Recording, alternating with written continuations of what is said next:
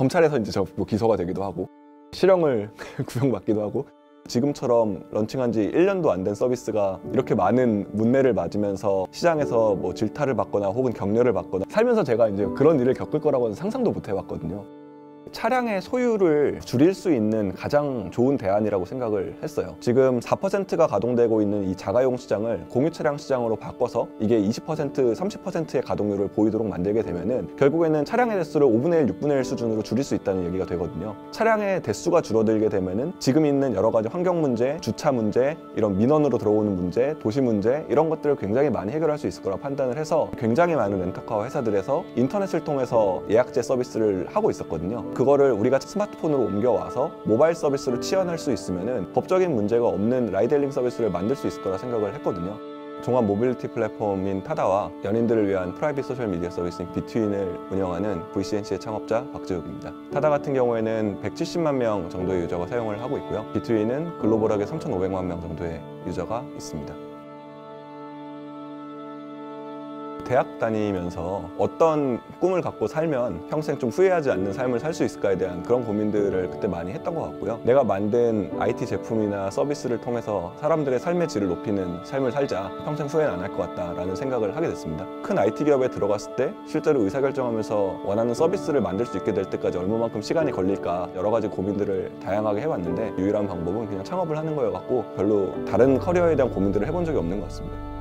창업에 대해서 공부하는 모임을 먼저 시작을 했고요. 공모전 같은 거 나가기도 하고 뭐 사회적 기업 같은 데 홈페이지 같은 거 만들어주는 역할도 해보고 창업을 할 때 이 친구들이랑 같이 하면 뭐라도 할 수 있겠구나라는 것들을 좀 다지는 시간들이 있었고요. 스마트폰 시대가 열리는 것들을 눈앞에서 딱 보다 보니까 지금의 그 시기를 놓쳤을 때는 나중에 엄청 후회할 것 같다는 생각을 되게 많이 했어요. 졸업하자마자 우리는 모여갖고 무조건 창업해야 된다. 이제 먼저 제가 스타트를 끊어갖고서 사무실 잡고 들어갔고요. 어떤 문제를 풀까는 그 다음부터 고민을 좀 많이 했습니다. 첫 번째 만든 아이템은 이제 뉴스를 모아서 볼 수 있게 만드는 뉴스 뉴스 포털 같은 서비스를 launching을 했었는데 시장에서 반응이 없었어요. 그 다음에 이제 어린이들을 위한 interactive e-book 서비스를 만들어서 그것도 잘 안 돼서 실패를 하게 됐고요. 그 다음에 세 번째로 이제 비트윈이라는 서비스를 계획을 하게 된 거는 페이스북이나 트위터나 카카오톡 같은 서비스들이 급격하게 성장을 하면서 되게 반대급부에서 private한 자신만의 온라인 공간을 만들고 싶어 하는 needs들을 좀 발견을 했고 그런 거에 대한 needs를 가장 강하게 갖고 있으면서 가장 큰 시장이 커플들 시장이었어요. 충분히 많은 사람들이 쓰는 서비스를 만들 수 있겠구나라는 생각을 해서 이제 비트윈이라는 서비스 서비스가 처음 탄생을 하게 됐습니다. 글로벌 진출도 하고 굉장히 많은 user들한테 사랑을 받으면서 성장을 많이 했고요.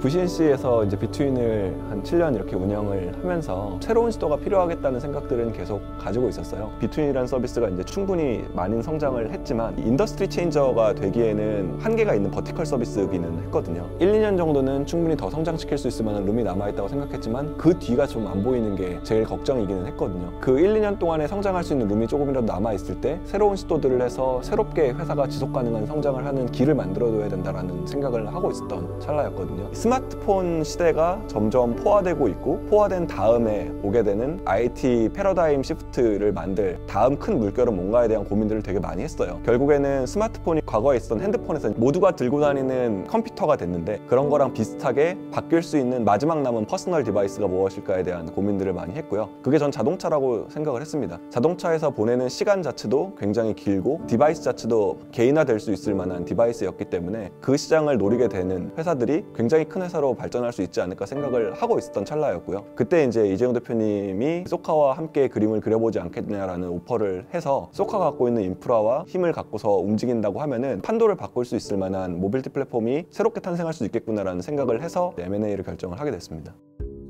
차량의 소유를 줄일 수 있는 가장 좋은 대안이라고 생각을 했어요. 차량이 많음으로 해서 생기는 문제들이 사실 굉장히 많거든요. 뭐 주차 문제라든지 환경 문제라든지 지금 현재 등록되어 있는 차량들 등록대 수만 전국에 1,800만 대 정도가 돼요. 서울시에 있는 민영주차장, 공영주차장을 다 합치면 서초구 면적만큼이 나와요. 차량 같은 경우에는 평소에 가동되는 시간이 전체 시간 중에 4% 정도밖에 안 되거든요. 지금 4%가 가동되고 있는 이 자가용 시장을 공유 차량 시장으로 바꿔서 이게 20% 30%의 가동률을 보이도록 만들게 되면은 결국에는 차량의 대수를 5분의 1, 6분의 1 수준으로 줄일 수 있다는 얘기가 되거든요. 차량의 대수가 줄어들게 되면은 지금 있는 여러 가지 환경 문제, 주차 문제, 이런 민원으로 들어오는 문제, 도시 문제 이런 것들을 굉장히 많이 해결할 수 있을 거라 판단을 해서 현재 있는 단순히 이동을 대체하는 것뿐만이 아니고 사람들이 사는 도시에서의 라이프 스타일 자체를 바꿀 수 있겠구나라는 생각을 해서 이 mobility라는 산업 자체에 대한 매력도를 굉장히 높게 생각하고 있었어요. 저희가 만들고 싶었던 시장 자체는 한국에는 없지만 해외에는 이미 많이 활성화되어 있는 limo 시장이었어요. 보통 해외 같은 경우에는 택시 시장이 있고 리무진 시장이 따로 있거든요. 고급 이동 시장이 따로 있습니다. 그런 고급 이동 시장을 가능하게 만드는 방법이 이 기사 포함 렌터카로 가능하기 때문에 그 시장을 만들겠다라는 생각을 가지고서 첫 기획을 시작을 했고요. 2014년도부터 법이 개정이 되면서 기사 포함 렌터카가 11인승에서 15인승의 차량을 갖고서는 가능하고 굉장히 많은 렌터카 회사들에서 인터넷을 통해서 예약제 서비스 를 하고 있었거든요. 그거를 우리가 스마트폰으로 옮겨와서 모바일 서비스로 치환할 수 있으면은 법적인 문제가 없는 ride-hailing 서비스를 만들 수 있을 거라 생각을 했거든요. 그렇기 때문에 이제 택시보다도 20% 비싼 가격을 책정을 한 거고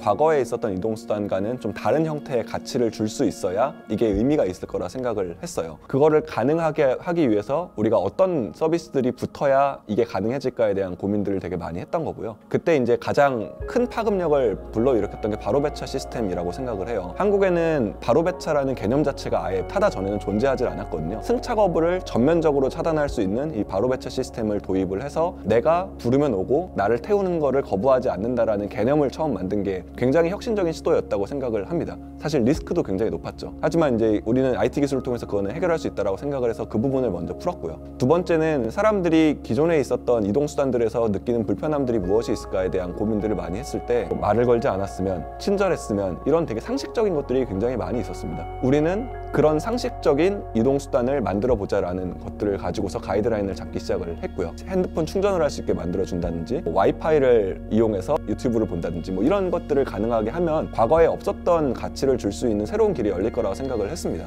이름을 짓거나 할 때도 어떻게 우리가 불리어야 사람들에게 좀 친근하게 다가갈 수 있고 뇌리에 박힐 수 있을지 이런 고민들을 많이 해서 뭐 영어로는 타다 하면 이렇게 놀라는 표현이기도 하고 한국말로는 어딘가에 타다라는 동사로 활용이 될수 도 있었기 때문에 이동이라는 문제를 풀려고 하는 기업의 서비스 이름으로 굉장히 적합한 것 같다라는 생각을 하게 돼서 그 서비스 이름을 짓게 된 거죠.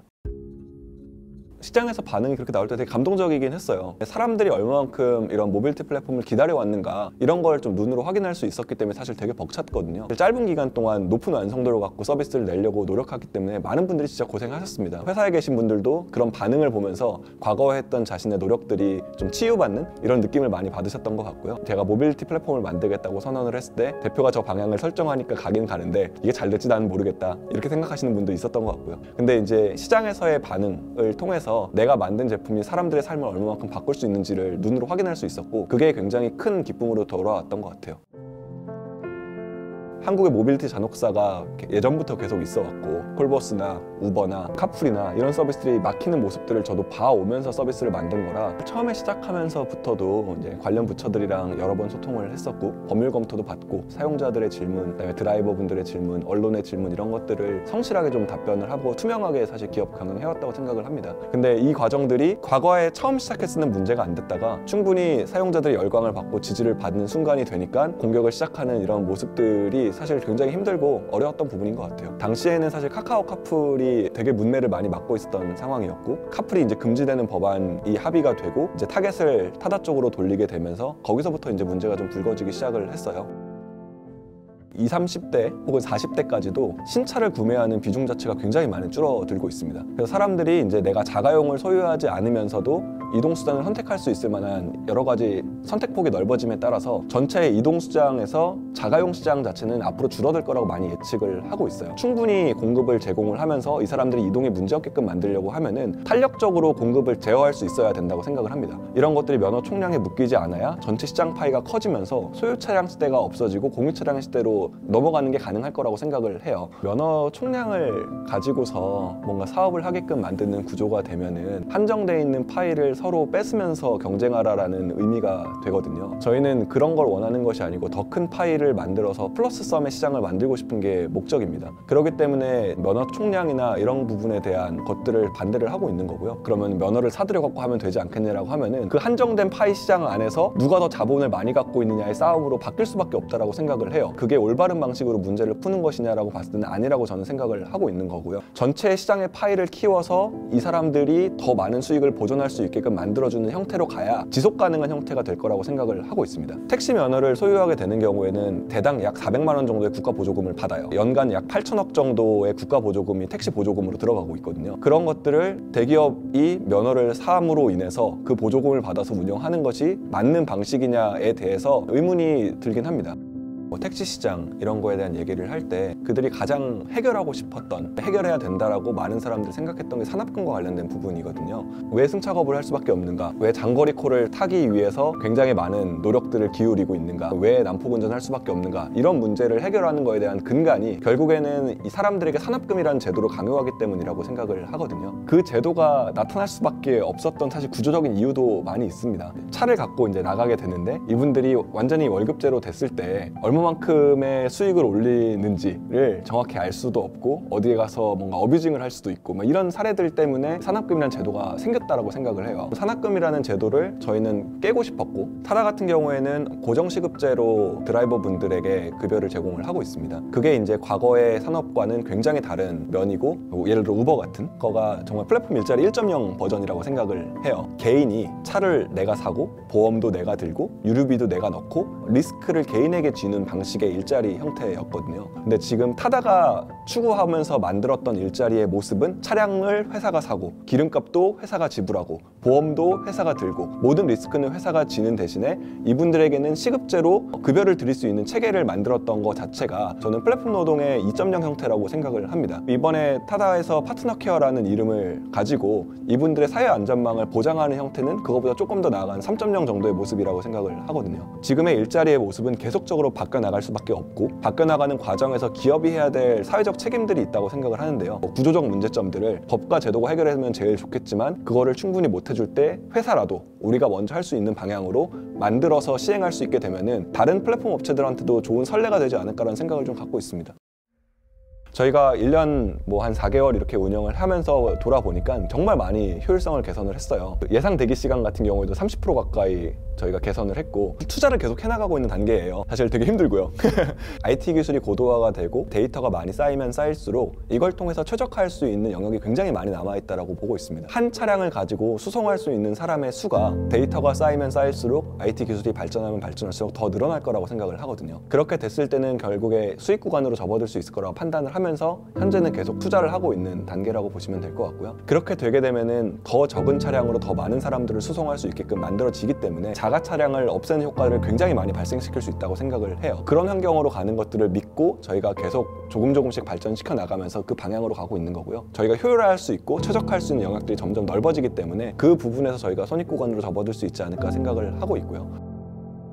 검찰에서 이제 저뭐 기소가 되기도 하고 실형을 구형받기도 하고 살면서 제가 이제 그런 일을 겪을 거라고는 상상도 못 해봤거든요. 저는 이제 와이프랑 동갑이라서 결혼하기 전부터 되게 친한 친구였거든요. 이런 얘기들을 좀 자유롭게 할 수 있는 게 저한테는 되게 중요한 것 같아요. 멘탈을 유지하는데도 되게 도움이 많이 되고 같이 슬퍼할 때 같이 슬퍼하고 같이 웃을 때 같이 웃고 이런 것들을 와이프랑 진짜 동갑인 친구로서 할 수 있는 게 저는 되게 저한테는 중요한 것 같거든요. 사실 최근에 가장 이제 좀 가슴 아팠던 거는 제가 하고 있는 일들을 이제 기사로 많이 찾아보니까 이번에 그 검찰에서 1년 실형 구형했다는 거 보고선 진짜 펑펑 울었다고 그러더라고요. 그래서 그때 좀 진짜 마음이 아팠어요. 전체적인 창업 생태계 측면에서 봤을 때 많은 창업가들을 위축시키고 있기 때문에 그게 가장 안 좋은 점이라고 생각을 합니다. 문제없이 시작한 서비스가 충분히 성장을 해서 많은 사람들의 지지와 열광을 받는다는 이유로 형법적인 제재가 가해지게 되면은 어떤 창업자가 마음 놓고 서비스를 키우고 기업을 성장시키고 더 좋은 회사를 만들기 위해 노력하고 그러겠어요. 친한 스타트업 창업자분들 많이 만나면은 우리도 커지면 타다처럼 되는 거 아니야? 이 시도를 했다가 타다처럼 되는 거 아니야? 만약에 그렇게 됐어 어떻게 되냐고 저한테 막 컨설팅을 막 이렇게 물어보시고 막 이러세요. 카카오톡 정말 처음에 나왔을 때 통신사들이 저거는 우리 문자 메시지 시장을 다 뺏어간다 주장을 하면서 저걸 법으로 형법으로 그거를 막았다라고 가정을 하면은 지금의 카카오 같은 기업이 창출하고 있는 가치 거기서 만들어낸 일자리 같은 것들이 하나도 없었을 거라 생각을 해요. 새로운 시도에 대한 것들을 열어주고 어떤 기업으로 성장할지에 대한 것들을 바라봐주고 혁신이 일어나는 과정에서 이 기업이 잘하고 있는지를 사회적으로 모니터링하는 것이 중요하지 그걸 처음부터 형법으로 막겠다라고 하는 것은 것은 문제가 있지 않나라는 생각이기는 하고요. 이 모빌리티 플랫폼 자체가 어떻게 성장해 나갈지에 대한 것들을 먼저 예단하고 그걸 보면서 무슨 혁신이냐고 얘기하고 이런 것들을 누군가가 판단할 문제가 아니라고 생각을 해요. 타다 이용자분들의 여러 가지 다양한 목소리를 들어봤을 때 저는 가장 와닿는 부분이 이제 집에 있는 차를 끌고 다니지 않는다라는 내용이거든요. 다음 차를 살 필요가 없어질 것 같다. 과거에는 뭐 법인 차량들을 다 가지고 있고 장기 렌트를 해갖고 법인에서 차량을 이용하는 부분들이 많이 있었는데 이거를 타다로 대체해서 이용하시는 고객분들이 새롭게 많이 나타나게 됐고요. 과거에 수행 기사를 통해서 좀 기사 알선 서비스를 받고 있던 기업의 임원들이나 이런 분들도 타다로 좀 많이 넘어오는 모습을 많이 봤고요. 장애인분들이 콜택시 잡기가 되게 어려워요. 근데 타다 어시스트 같은 서비스를 통해서 좀 더 원하는 시간에 원하는 장소에서 내가 충분히 이동할 수 있을 만한 새로운 옵션이 생겼다는 것 자체가 그분들이 굉장히 선호하게 되는 되게 중요한 원인이라고 생각을 하고요. 뭐 학원가 풍경이나 이런 것들이 좀 굉장히 많이 바뀌었다는 얘기를 저는 많이 듣고 있고 실제 데이터로도 그게 나오고 있는데요. 과거에는 그 자차를 통해서 학부모들이 자기 이제 자식들을 태우고 학원에 보낸다든지 학교를 보낸다든지 하는 이런 일들이 굉장히 많이 있었는데 타다라는 서비스 가 나오고 실시간으로 이 차가 어떻게 이동하고 있는지 어떤 루트를 통해서 가고 있는지 이런 것들을 볼 수 있게끔 됨에 따라서 차를 불러서 내가 우- 움직이지 않고 아이들을 이동시킬 수 있다라는 이런 시장들이 창출된다고 생각을 해요. 드라이버 하시는 분들이 절반 정도는 부업으로 일을 하시고 절반 정도는 전업으로 이제 일을 하시는데 예술계에서 종사하시는 분들 같은 경우에는 뭐 오디션 보러 가야 되거나 뭐 이런 일들이 굉장히 많으니까 정기적인 일자리를 잡기가 되게 어렵거든요. 그래서 그런 분들이 이 타다 드라이버를 하면서 생계를 끓이는데 많은 도움을 받고 있다라는 응원의 메시지를 많이 보내주시기도 하고 요. 택시를 하시다 넘어오시는 분들은 사실 수입이 더 많이 높아져서 그런 부분에 대한 만족감을 많이 갖고 있는 데다가 뭐 저희가 세상에서 제일 좋은 일자리를 타다 드라이버라는 일자리를 만들 수는 없다고 생각을 해요. 하지만 이제 운전을 통해서 생업을 종사하시는 분들에게는 제일 좋은 옵션 중에 하나로 만들 수 있지 않을까라는 생각을 갖고서 하고 있습니다. 사람들은 기본적으로 더 편리하게 사는 삶을 가지고서 일관된 방향으로 살아나간다고 생각을 해요. 현대인들이 세탁기나 청소기 이런 것들이 없는 삶을 생각할 수가 없잖아요. 그 시대로 돌아갈 수 없는 것처럼 일관적으로 더 편리한 방향에 추구하면서 계속 살아나간다고 생각을 합니다. 그리고 이제 그런 과정에서 삶에 있어서 중요한 부분 중에 하나인 이동이 그거에 속해 있는 현재 상태라고 생각을 하고 있어요. 자율주행 시대에 대한 얘기를 할 때 중요한 게 크게 두 가지가 있습니다. 그 자율주행이 정말 가능하게 되는 하드웨어적 혹은 소프트웨어적 기술이 하나가 있고요. 그거를 한 도시에서 시행하기 위한 데이터가 굉장히 중요해요. 쌓여있는 데이터가 얼마만큼 있느냐에 따라서 그 만들어진 기술이 활용될 수 있는 폭이 굉장히 차이가 많이 나거든요. 어디에서 수요가 많이 나오고 어디에 차량을 배치를 해야 되고 어떤 루트를 통해서 이동하고 이런 것들에 대한 주행 정보 데이터가 굉장히 많이 쌓여 있어야 이 자율주행이라고 하는 기술적인 부분들이 빛을 발할 수 있게 되거든요. 타다 같은 경우에는 그 후자 쪽을 굉장히 많이 하고 있는 기업이고요. 해외에는 우버, 디디, 그랩 같은 회사 들이 그런 것들을 하고 있고 그 쌓인 데이터들이 자율주행이라는 기술이랑 접목이 되면서 도시에서에 대한 이동 문제들을 해결할 수 있을 만한 큰 솔루션들이 나올 수가 있는 거거든요. 모빌리티의 골든아워라고 저희가 생각하는 게 지금 시점이라고 생각하는 게 그 데이터를 축적할 시간, 어디에서 수요가 어느 지역에서 몇 시에 나오는지에 대한 것들을 판단할 수가 있어야 그걸 기반으로 자율주행이랑 결합이 되게 됐을 때 새로운 세상이 열릴 수 있다고 생각을 하거든요. 자율주행이라는 기술 자체는 어느 한순간에 딱 시장에 등장을 해서 한꺼번에 많은 것들이 바뀌는 이런 과정이 아니라 시장에서 특정 부분을 대체하면서 운전자들의 피로감을 줄여주는 것부터 시작을 하고 특정 시간, 뭐 특정 날씨에서 먼저 상용화가 되기 시작을 할 거고 그 외에는 여전히 드라이버가 필요할 거라고 생각을 합니다. 자율주행 시대가 오고 도시의 라이프 스타일이 바뀌면서 사람들의 일자리도 굉장히 많이 이동을 할 거라고 생각을 해요. 이 일자리가 이동을 하는 거에 있어서도 타다 같은 기업들이 만들어질 일자리가 어디에서 나타나는지를 보고 사라질 일자리에서 종사하고 있는 분들을 재교육시키고 그분들을 위한 여러 가지 시스템들을 만들어서 그분들이 연착륙할 수 있도록 만드는 거에 플랫폼 업자들의 책임이 있다고 생각을 합니다. 혁신적인 서비스다 라는 것은 시장에서 이용자들이 판단하는 것이라고 생각을 하거든요. 우리 같은 기업이 역할을 제대로 못하게 됐을 때는 그 뒤에 창업하는 사람들도 손해를 볼 것이고 우리가 만들어내는 이 모빌리티 생태계 자체에도 큰 피해가 될 수도 있다고 생각을 하니까 어떤 책임을 갖고 어떤 기- 사회적 기여를 해야 될지에 대한 고민들을 좀 더 많이 하게 되는 것 같아요. 올바르지 않으면은 우리 같은 기업은 더 살아남기 힘들겠구나라는 생각들을 좀 더 많이 하게 됐거든요. 좀 더 책임감을 더 많이 갖게 됐고 그 책임감이 좀 서비스를 만들어 나가는 모습이나 기업에서 정책을 정하는 모습이나 이런 데서 더 많이 녹아 들어가야 된다고 생각을 하기 때문에 저희가 발전해 나가는 과정에서 그 부분이 굉장히 중요한 회사의 전략 방향이 되지 않을까 싶습니다.